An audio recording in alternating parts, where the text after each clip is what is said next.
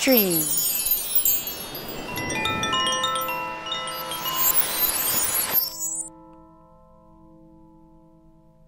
We are dreamed into existence. What we do with that dream is up to us. This is Stream. I am Jessica DiRuzza, and I share with you my stream of consciousness.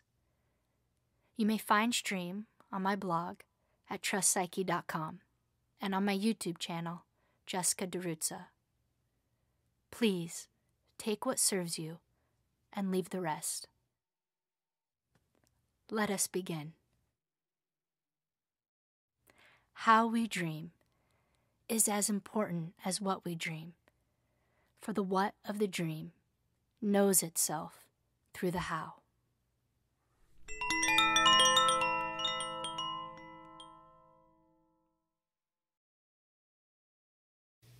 Welcome back to Stream. It's still May 20th, 2018 here, and the stream has been open for today. I'm not entirely sure what is wanting to come through in this particular stream, but I felt called to get back on after my third recording of Stream, where we're looking at family systems and astrology.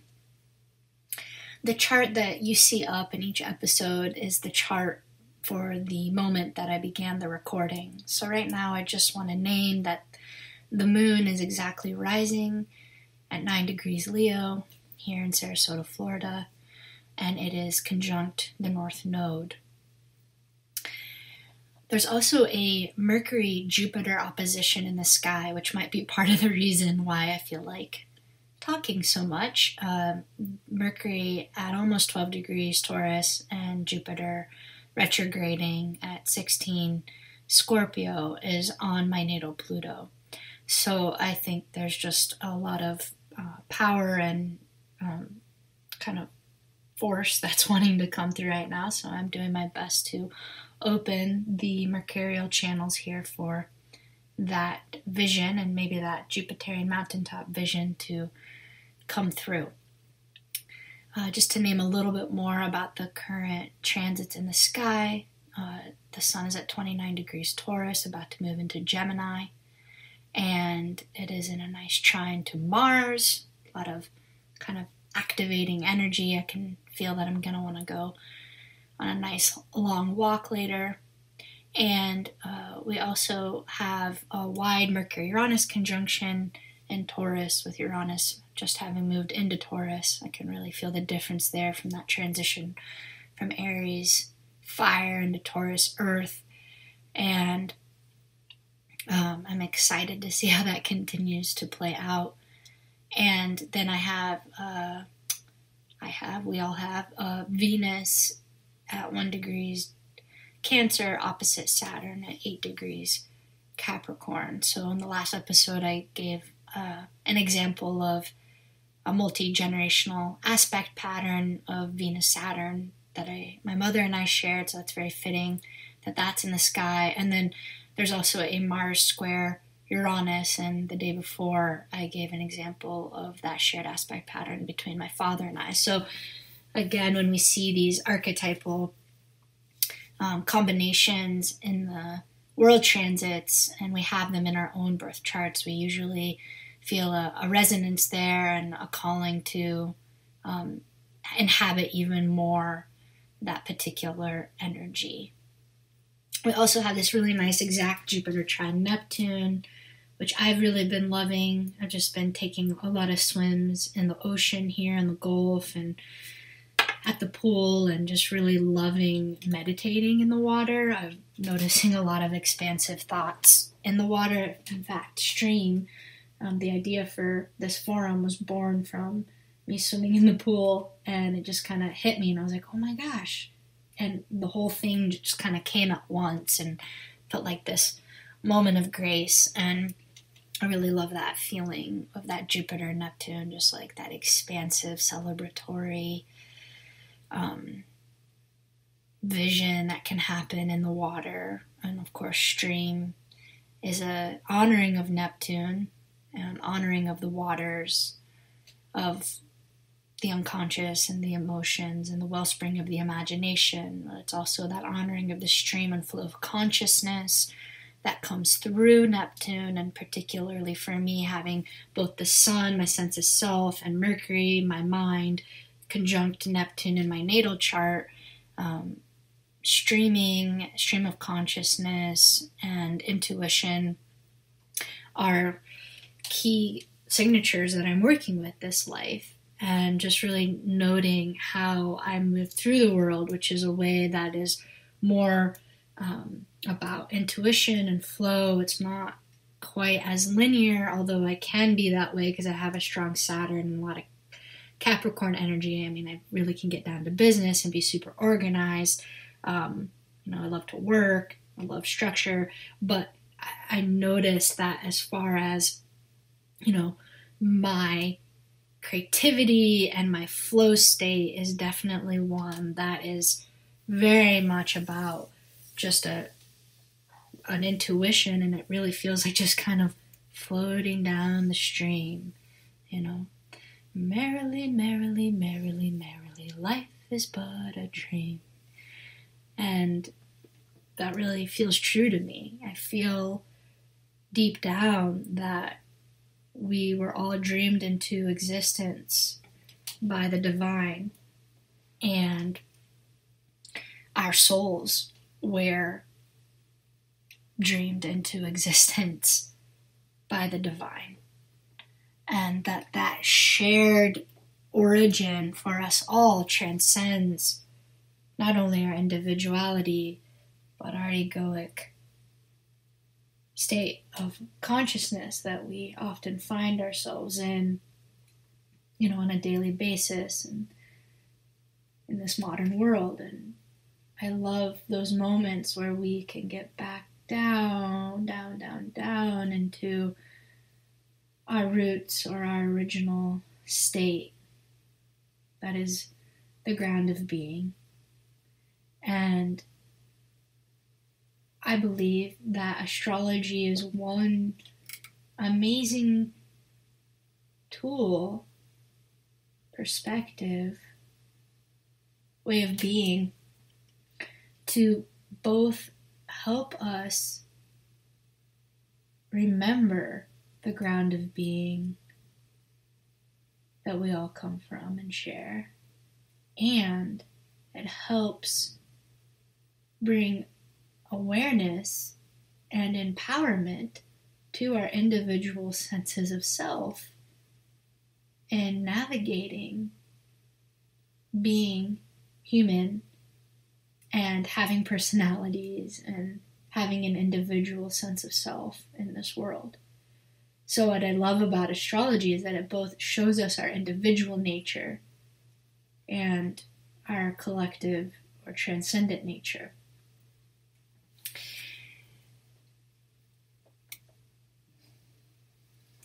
Let's see what wants to come through here.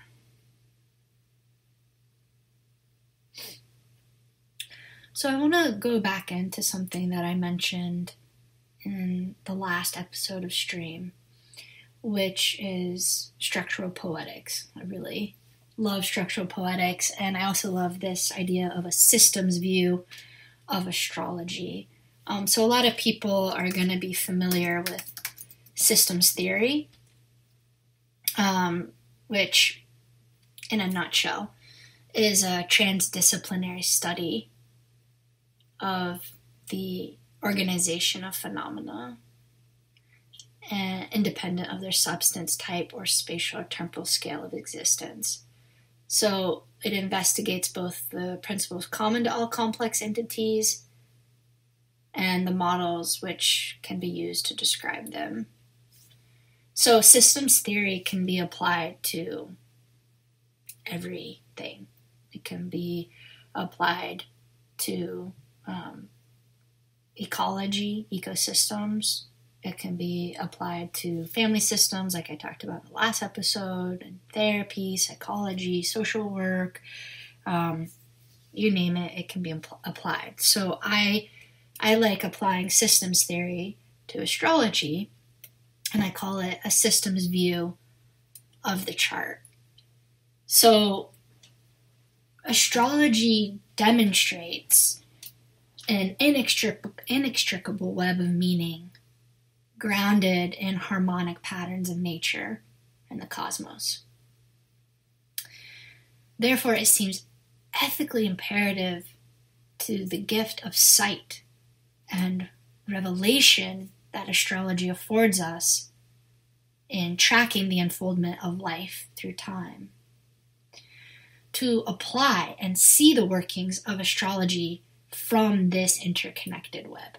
So we have, we know that we are interconnected as human beings, as a species, sharing this ecosystem of planet Earth.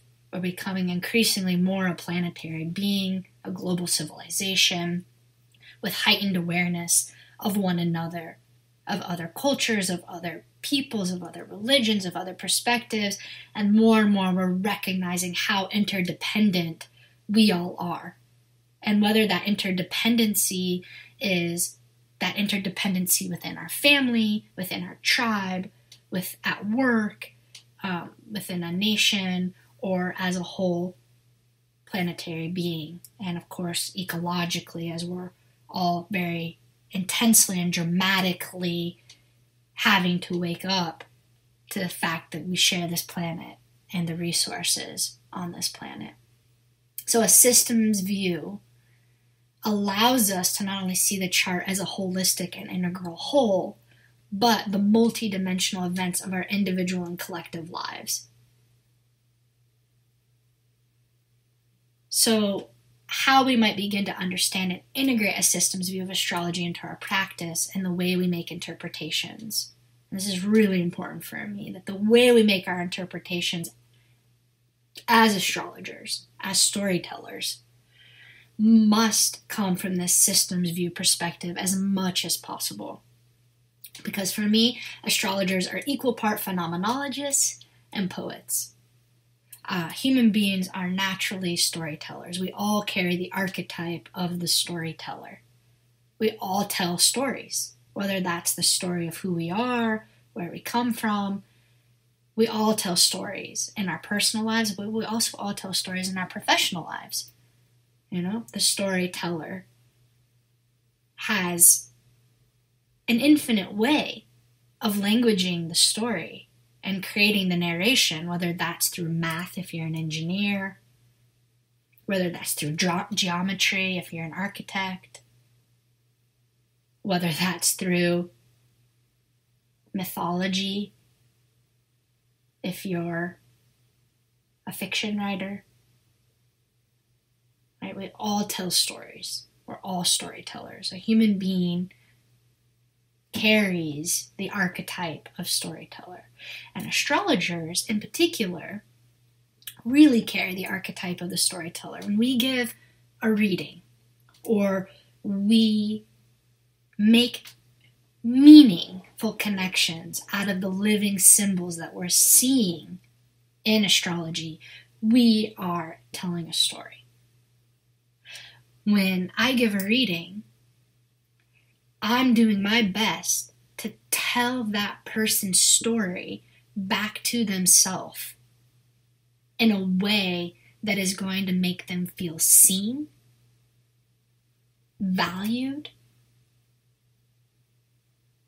and empowered to live the story of their life with more heart, with more courage, with more conviction.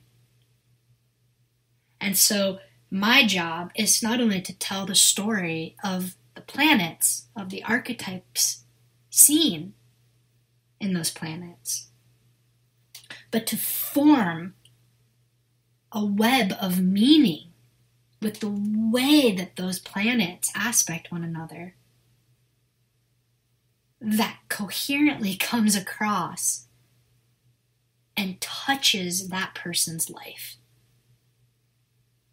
in the way that that touching of that person from my soul to their soul, from the planets to them, from the divine to them, is one that feels as most healing and liberating and empowering as I possibly can.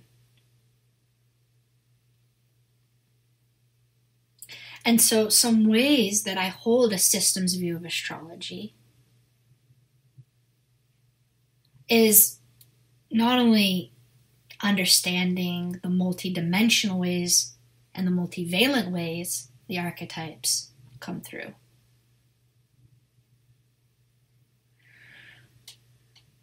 But really holding in my being as much as possible the co determining factors that go into making that person the unique individual that they are. And for me, it's it's about going beyond the co-determining factors, right? So co-determining factors are, you know, what's the gender? Is there a sexual orientation? Socioeconomic status? Religious or spiritual practices? What country do they live in? What culture are they a part of, right? These are all the factors that go in to telling the story in a way that's going to be most relevant and meaningful for that person. Right? Because we can look at a snapshot of the heavens at any moment and we have no idea if that interpretation is for a person, a dog, a nation, is it a birth chart? Is it a death chart? Are we talking at the level of world transits? Are we talking at the level of personal transits? Right? So, the way that we best tell the story, the one that has the deepest connection to the subject that is correlating to that particular snapshot of the heavens, is to get to know the subjectivity of that being or beings. And we orient ourselves by beginning to hear, let's say, if we're talking about a person, their biography. What was their family like? What was their childhood like? Where did they grow up? But then we can bring in other things to help nuance and bring in a greater depth of understanding of that being's particular situatedness.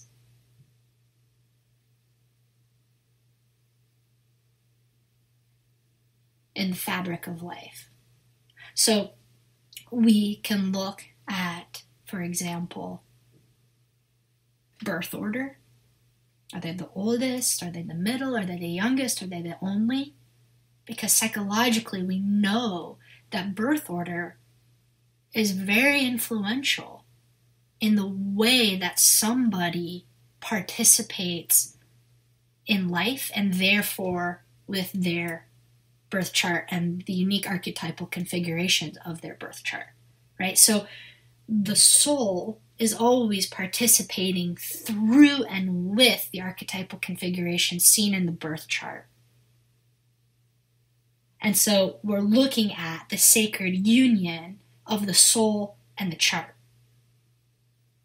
And the chart, in its blueprint, has all these potentialities.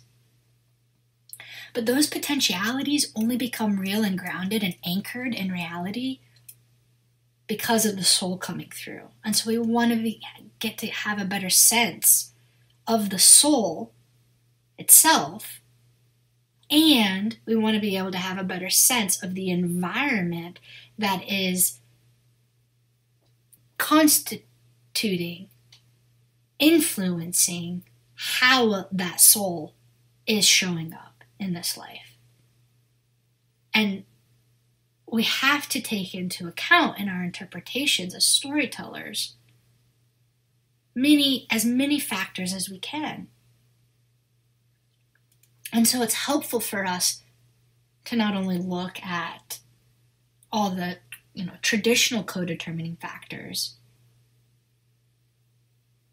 that I mentioned, but also to look at things like birth order, neurodiversity, right? Neurodiversity is this person have a history of depression?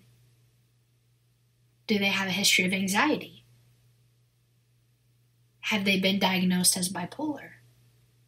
Have they been diagnosed with narcissistic personality, paranoid personality, schizophrenia? Right? So we have to take into account the neurodiversity in our interpretations because how I'm going to interpret a Jupiter Uranus transit for someone who's bipolar versus someone who has depression is going to be very different.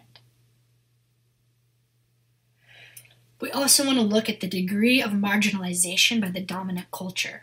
So, because in America we live in a cisgendered culture, like white males who are heterosexual, and it's a bonus if you're Christian, and it's a super bonus if you're wealthy, are considered still to be the norm, and in a way, the goal of uh, achievement, health, and well being. So, the degree of marginalization by the dominant culture here is that if you are a black woman who identifies as lesbian and are poor, then your experience of, let's say, a Saturn transit or even just a natal placement of Saturn in your chart is going to be very different. Very, very different than a white, heterosexual, wealthy man.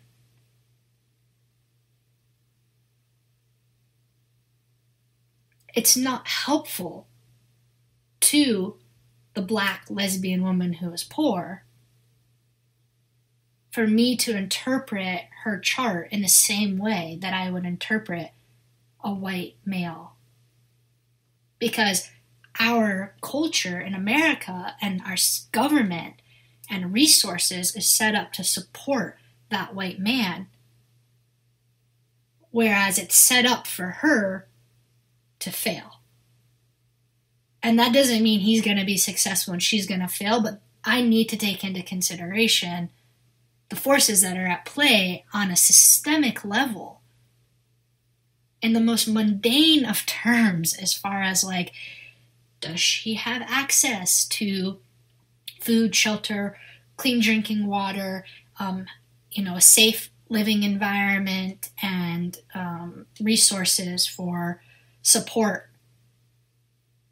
Now, she might be absolutely thriving and enjoy, and the white man might be absolutely suffering from depression.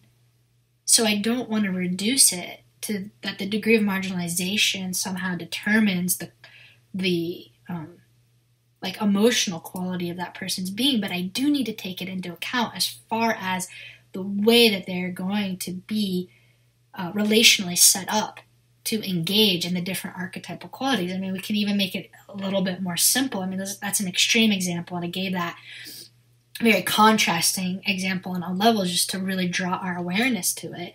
But like I've said this before, but like a man that has Sun Pluto versus a woman that has Sun Pluto is going to show up very differently.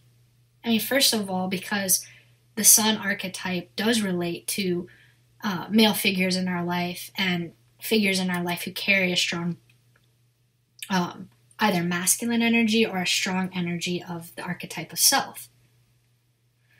And so, if you're a woman who has that versus a man who has that, the way that that Sun Pluto kind of powerful male, powerful masculine, powerful sense of self energy shows up could either be, you know, as you yourself inhabiting that archetype, or people in your life more so inhabiting that archetype. And we see a lot with Sun Pluto that you can be the empowered, powerful person, you know, strong in your sexuality, um, strong in your ability to influence change around you, carrying a powerful force of nature and ambition in your being.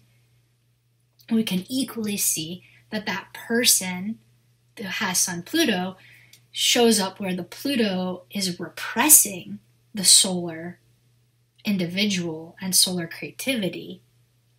And that that power is being occupied by the father or the husband or um, the boss or you know the same can be true. It's not that a man would have one and the woman would have the other both can have both these experiences of either being the sun pluto or having other people in the life in one's life hold the powerful part of sun pluto right?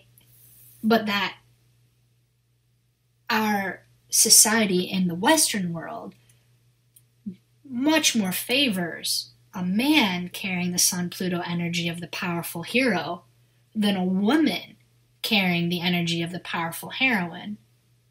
And even though women are gaining more power across the board, there is still a deep ingrained misogyny of a powerful woman being bossy, being too dominant, being too fiery, being too forward, being too direct, being too, too, too, too, too, too, T O O O O all the way. Whereas the man is not only encouraged to occupy that powerful place, that powerful libidinal, sexual, you know, even at times aggressive, direct place, ambitious, but the system is set up so not only is that valuable for a man to be that way, but the system is set up to condition the man to be that way. And so when our inhabiting certain planetary archetypes comes into dissonance or disagreement with the dominant culture that we live in, we're going to have a very different experience of that archetypal quality in our being than if we were to be born into a culture where there was a profound valuing of the way that we are and the way that the culture is. So, in that sense, we also have to take into consideration the historical cultural time period that we're born into and the values of that culture and the ways that that either aligns or doesn't align with the way that we show up in any particular life. So at one point, a Sun Neptune person might be highly revered as a mystic, as a channel, as a healer, and in another time or another culture is seen as delusional, psychotic, out of touch. Then we also have to look at trauma and trauma resilience, right? We can have the same chart, two different people. They both could maybe have experienced similar trauma. Let's call, you know, at the age of five, let's just say both of their moms died. One person's response to that trauma might be very catastrophic and that there's difficulty for the, that person to develop and function in a way that is considered high functioning, keeping a job, having good relationships, being able to feed and shelter oneself, and another person, so that person would be trauma resilient, and another person might not have that same resilience for a whole host of reasons and respond to that trauma very differently, become an addict, get addicted to heroin or pain pills, never really hold down a job, never be able to get into a relationship. So we have to look at trauma and trauma resilience. And then, you know, so things I've mentioned before, looking at the synastry with the parents and the family of origin is really important. But something I particularly like that I feel like doesn't really get mentioned too much is the death and rebirth of the psyche through the chart. So when we go through a psycho-spiritual death and rebirth, whether that is through using um, different uh, ancient practices, meditation, yoga, or whether it's through using medicine and ritual, psychedelics, or having someone close to us die, or giving birth, whatever it might be that activates that psycho spiritual death and rebirth. When we go through that, our chart also goes through that. So even though our birth chart always stays the same over the course of a life, the way that we relate to that chart and the way that we participate through that chart can go through a death and rebirth. And so the way that we interact with the planetary archetypes changes. And the chart itself doesn't necessarily show us that. The chart doesn't necessarily, um, in a causal correlative way, say whether or not we're going to go through a death and rebirth or have trauma resilience or neuro, what our neurodiversity is or the degree of marginalization by the dominant culture. The chart cannot tell us that. But what we can do is we can see the story of the subject correlative to the chart. And then we can begin to understand how that particular chart relates to those different factors. And this feels really, really, really important to me. And I feel like most astrologers aren't really there yet as far as understanding that. I mean, if you read a lot of the cookbooks or you hear people talk about um, different combinations, we often hear, well, this combination usually relates to this. And the truth of the matter is, is that's not really true every combination can relate to any set of co-determining factors and it's part of what makes creation so brilliant and fascinating is that creation itself is multidimensional, multivalent to the point that there aren't any um, guaranteed one-to-one correlates or you see this signature more commonly in an athlete than not. It's not actually true. It's actually much more interesting than that. If Mars re- relates to athleticism, and we do a study and we see actually no, Mars isn't seen more as a Sun Mars or Mars rising in an athlete than a not athlete. That doesn't mean that astrology doesn't work because it's not statistically predictive in that way. It's a much more interesting story in that, for example, Michael Jordan, who had Mars Neptune, which you wouldn't really guess that he had Mars Neptune, but he had Mars Neptune. So the way that his Mars athleticism showed up was in a Neptunian way, which was he was super flowy and seamless in his movement. And it was almost like he had a psychic reading of the field that was a linear and that he knew he could intuit where things, how and where things were going to happen, where the ball was going to go, what the move was going to be. And he would shoot those shots and they would just roll off the tip of his finger and into the basket without hitting any net, you know, or he could shoot almost with his eyes closed. It's like that is Neptune informing the way that his Mars showed up. And so it's much more interesting to look at it that instead of being like, well, you know, a lot of athletes have Sun Mars. Bullshit. That's not true. Some do, and that's great. So my point is is that we can apply that analogy to every single profession, to every single personality type. Just because you have Sun Mars doesn't mean you're an extrovert. There are plenty of people who are Sun Mars who are introverted. Sun Mars doesn't make you outgoing. But if we understand, oh, you're an introvert and you have Sun Mars, yeah, of course, that's going to show up differently than if you're an extrovert who has Sun Mars. And the reason why that's more interesting is because not only is that more accurate to the way that it works, but that when we go to tell that story, especially when we're doing counseling astrology and telling that story to that person, it's going to be much more relevant and impactful to that person's life. And they're going to hear more of themselves in the story. And the more a person can hear themselves in the story, the more they come to life, the more animated a person becomes. When we resonate with something, when we see ourselves in something, we become alive. We become enlivened. And that makes us want to live more. That makes us want to participate more. And that is what our job is as storytellers, especially in the context of counseling astrologers. So that's part of what I mean by bringing in a systems view of astrology.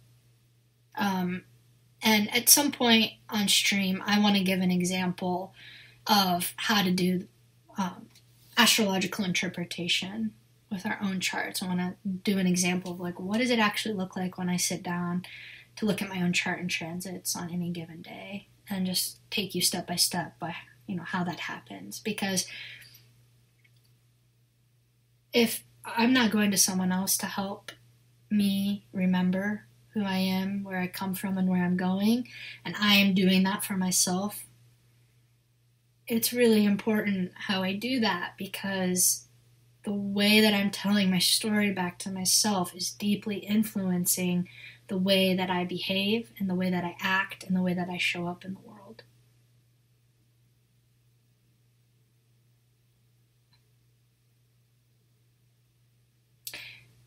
I'm wondering now if part of Uranus moving into Taurus in that earth energy is to ground the insights. I'm really feeling this call toward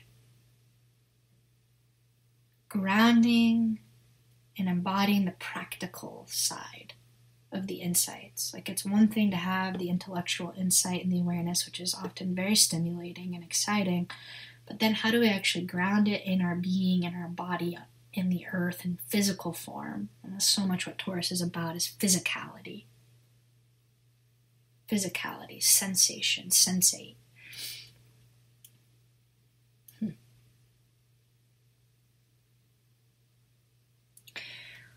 So, thank you for going on this journey with me and exploring a little bit more in a systems view of astrology. Going into those examples, I hope begins to stretch your imagination a little bit more and holding the complexities of being human and holding the complexities of the astrological correlates to the phenomena that's happening in all of our lives. Please feel free to like the video, leave a friendly comment, share with friends and family. This is Stream, and I'm Jessica DiRuzza.